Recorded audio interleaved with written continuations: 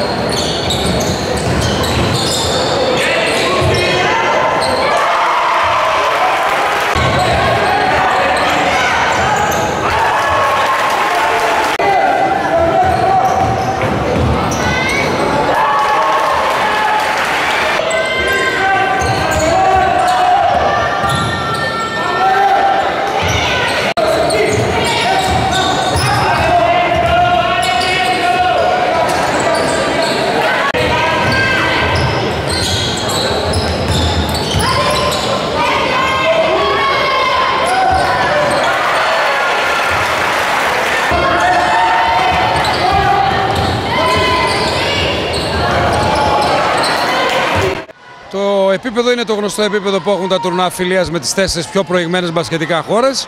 Ε, το επίπεδο το, ελλη- το δικό μας ήταν αυτό που αναμέναμε. Είχαμε τη μικρότερη σχετικά ομάδα, πιο άπειρη ομάδα από τις υπόλοιπες. Απίστευτες εμπειρίες για τα παιδιά που θα τις βοηθήσουν πάρα πολύ θέλω να πιστεύω, δηλαδή να κρατήσουν τα καλά σημεία από εδώ, να δουν τις ελλείψεις και να δουλέψουν για να τις βρούμε του χρόνου στο επίπεδο των κορασίδων. Θεωρώ ότι είναι πολύ πιο εύκολη η, η επιτυχία στο γυναικείο μπάσκετ και η προοπτική παρά στο αντρικό. Εγώ είμαι βοηθός ουσιαστικά του Εύρη του Μελετιάδη στην ε, Κορασίδων.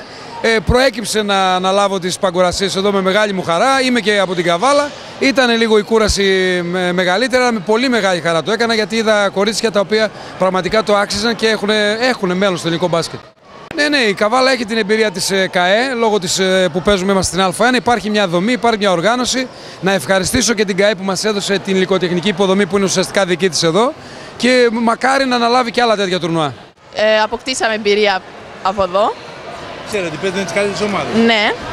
Από άλλες χώρες, Ισπανία, παράδειγμα Γαλλία και Ιταλία. Θεωρώ ότι ήταν μια καλή γιορτή για το γυναικείο αθλητισμό, για τα κοριτσάκια της Παγκορασίδες. Ε, έτυχε της ιδιαίτερης μεταχείρισης και ενδιαφέροντος από τους τοπικούς φορείς και θέλω να πιστεύω, αυτό το βέβαια οι προπονητές το γνωρίζουν καλύτερα, ότι το επίπεδο ήταν αρκετά καλό. Βέβαια ξεχώρισε η Εθνική Γαλλίας, η οποία φάνηκε ότι υπερτερούσε σε, σε κορμιά, σε κορμιά και γι' αυτό έκανε και τη διαφορά. Ελπίζουμε αυτά τα κοριτσάκια τα δικά μας να συνεχίσουν με τον ίδιο ρυθμό γιατί είναι το μέλλον του γυναικείου μπάσκετ. Θερμά συγχαρητήρια σε όλους που συμμετείχαν σε αυτή την εκδήλωση.